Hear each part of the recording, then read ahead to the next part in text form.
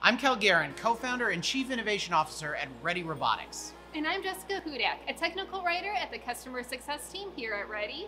And this year we're celebrating 4th of July a little bit early by having a robot cookout. That's right. Today we're going to be programming this ABB robot to cook and assemble hamburgers using Forge OS 5. And more specifically, we will be using the Task Canvas app, which makes it easy for anybody to program a robot. The ABB is one of several robots supported by ForgeOS 5, including Fanuc, Yaskawa, Epson, and Stäubli. And like ABB, many robots from these companies are used in food-grade applications. So we're actually going to have the ABB robot do a couple of different things today, and that's why we've equipped it with this multi-tool looking like end-of-arm tooling where we actually have a uh, just a plain um, spatula on one end, and we have this special food grade suction cup on the other side. Yeah, that's right. We're going to be using the spatula for flipping the hamburger patties, and then we're going to be using the suction cup for assembling the toppings in the finished burger. So we're going to begin by programming moves for placing this hamburger patty into the grill.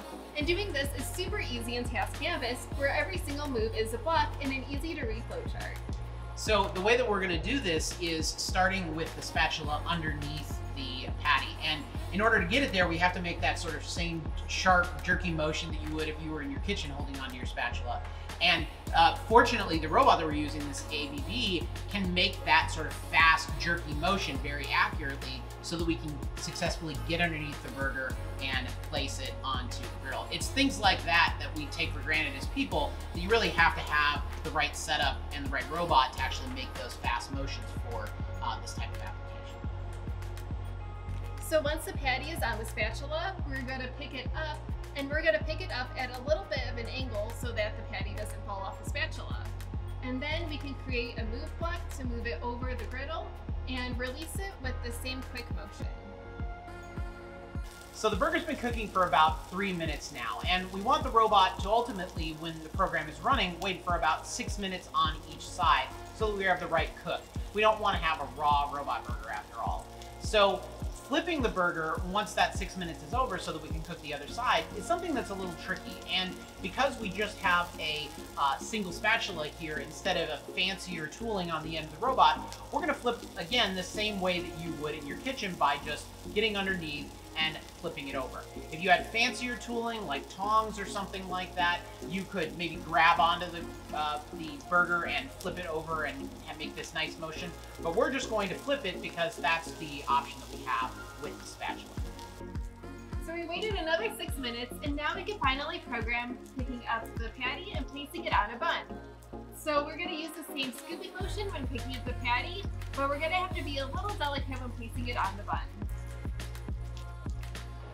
Okay, so we've got our finished patty nicely placed on the bottom of the bun, and we're gonna put a couple of other things together to finish the burger. We've got a slice of tomato, we've got some lettuce, and we've got the top of the bun, which will all go in a nice stack right there, and we'll have the finished burger. Yeah, that's right. So the food grade suction cup is going to be great for this because it can conform to the surface of each topping, so it can even pick up the lettuce, which is a little ripply. So once the patty is on the bun, we pick and place each topping onto the patty one by one. In Task Canvas, we are not only creating blocks for moving the robot, but also blocks to turn the suction cup on and off.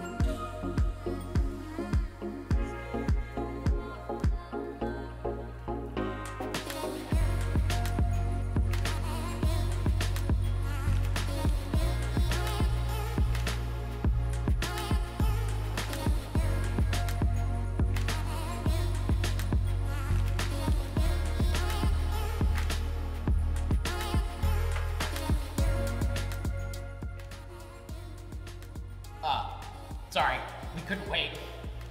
I hope you enjoyed this video. Check out more YouTube videos from Ready Robotics in the link in the description below.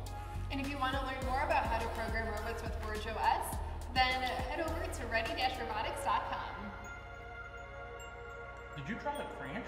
Mm-hmm. Well,